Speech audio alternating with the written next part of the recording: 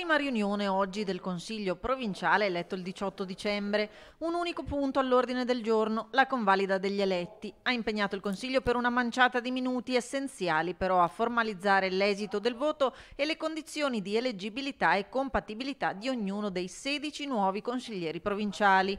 Nuovi ma non troppo, visto che su 16 eletti ci sono 10 conferme e 6 volti nuovi. Ad accoglierli il presidente della provincia, Francesco Rucco, affiancato dai vertici dell'ente. La rappresentanza territoriale è ampia e copre l'intero territorio provinciale, da Noventa a Schio, da Marostica a Valdagno. 12 sono i sindaci, due vice sindaci e due consiglieri comunali.